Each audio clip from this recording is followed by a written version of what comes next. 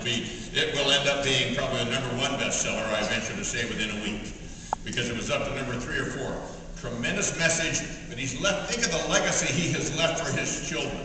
The impact and the lessons that those children will have. And so, I guess, I, it, to me, it's just one of the wonderful lessons that create magic that he talked about in his book was to have fun. And now, for, those of you that know me, uh, I, that's one of my joys. I mean, I like to have a good time. Yeah, that's one of my core values is joy. And in two months, I've got been asked to speak at my high school reunion. And I said, uh, for 10 minutes. And uh, the last time I went was, gee, Chris, they got everybody get up and talk about what they've been doing for the last 50 or 40 years. And uh, it was really boring, so I can't hardly wait for this opportunity. I called my the class president. I said, what do you want me to do? He said, what's their objective? And he said, I want them to feel good when you're done. So then I, he said, you and Joanne Peterson are doing it. So I called, oh, actually, I, it was kind of interesting. I'm trying to figure out what to come up with on a material. So I hadn't talked to Joanne Peterson for 10 years. So I, I said, what's her number? It's not even Peterson anymore. So I think she got married, so she took another name, but I know it's Joanne. And I said, uh, so this woman answers. And I said, hello, and I said, is Joanne there? She says, this is Joanne. Joanne, this is Howard Brinton.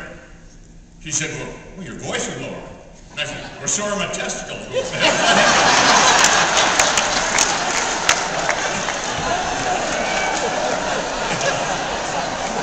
he said, I said, the mum, uh, plus everything else. Gravity set in. But I said, and she started laughing. I understand. I went to high school in Salt Lake City, so uh, I don't know how that's going to go over. But I, I, said to her, I said, I said, what are you doing? She said, well, I'm doing a memorial. I said, well, that's enlightening. And uh, I said, how many? She said, I got to put multiple faces on them because they're dying off as faster than we can keep up with them.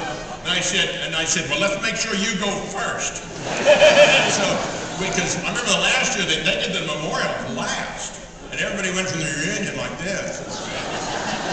Them were kind of looking around and saying we were going to be next. So, uh, but, uh, so I said, well, that'll be the transition from memorials to having fun. I'll use the testicle line. And she started laughing. She says, well, you put some people in into shock. I do know this. When I relied on it, by the way, you're seeing it in action right now, is that I allow my child, if you will, to kind of kick in gear. Because what I did was I went back and I said, I wonder if I've matured at all.